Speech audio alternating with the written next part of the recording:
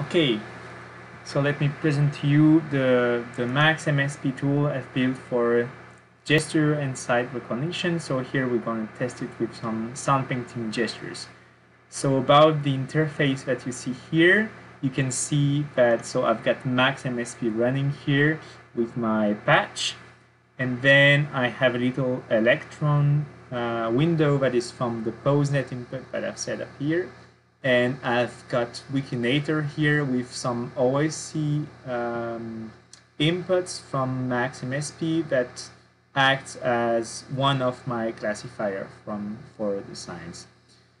So um, this is my patch and we're going to go through it and we're going to test uh, how it performs at recognizing some gestures uh, with Jad, my sister, who's to train the classifier with uh, some sound painting signs.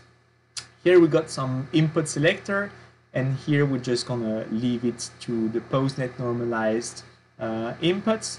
Uh, later there are gonna be some Kinect or gloves or whatsoever inputs. You can notice already that I'm using the, the webcam um, video input for PoseNet and my webcam is not really a good quality so of course, performance could be improved in many ways uh, if we use like a, a, a, greater camera and also a computer with much higher performance in terms of GPU so that we can run uh, better models.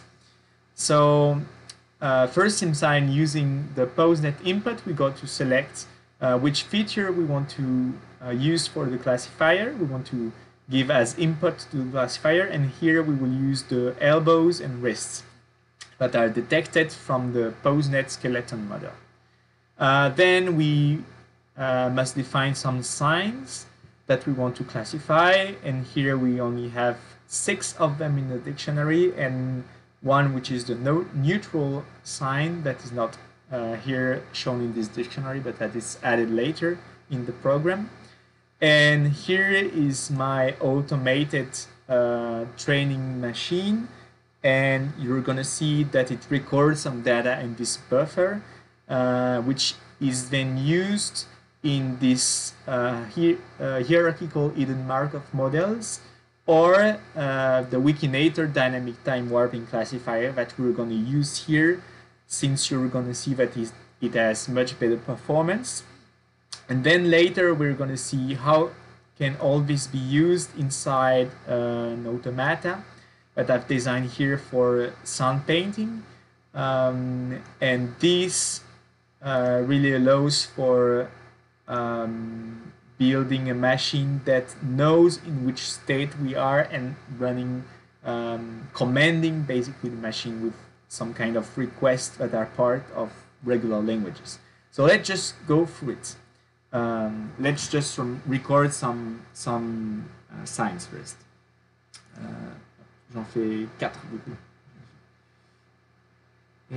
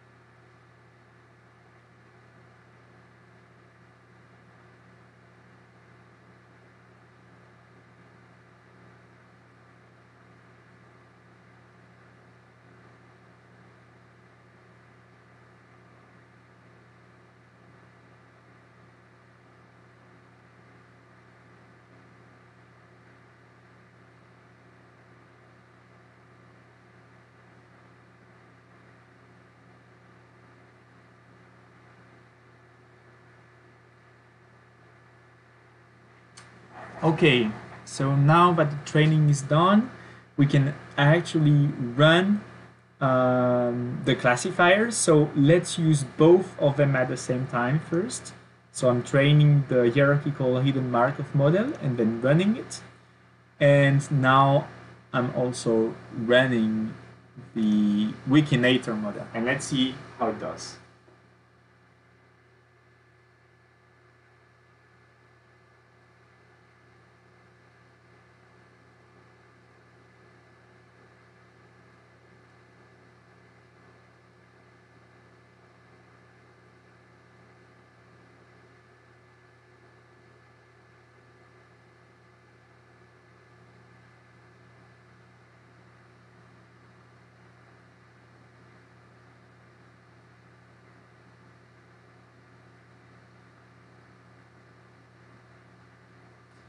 Okay, fine. So we can see how the different signs are being recognized by both classifiers. And you can see that sometimes, uh, most of the time actually, the dynamic time warping classifier performs better than the hierarchical hidden Markov model. That's because of the model itself, of course.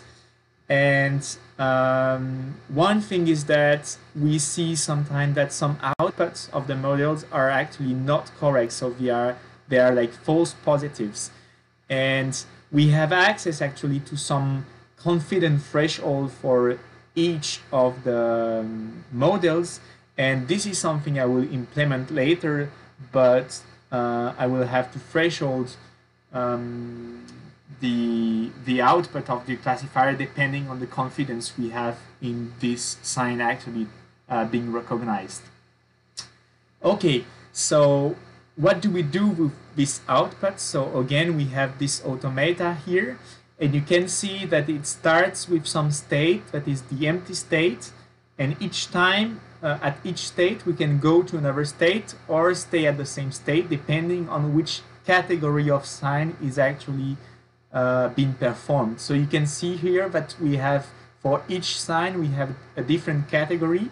And this is these categories that uh, allows for uh, the automaton to, to run. So for instance, if we are in the empty request um, mode and then we uh, do some long tone, then we get to the what uh, request and then uh, if it detects like uh, that we're being neutral or we do uh, some sign of the when category, then it will empty the request and return to the empty state. So here we can see that the automata is not really working well because we're detecting too many false positives. Um, so we should increase the thresholds um, for the detection of the signs outside the classifier. It means that we, we should increase uh, the threshold at which we, we think the confidence is high enough so that we can actually say, oh, this sign has been performed. But anyway, so this is uh, where um, I am now. And uh, later we will have here some new inputs, such as the Kinect or also motion capture gloves that will allow to, to capture actually uh, more of the fingers and uh, we will have hopefully um, uh, pos the possibility to combine this model and to achieve some kind of consensus so that we can improve the quality of the recognition uh, in each case.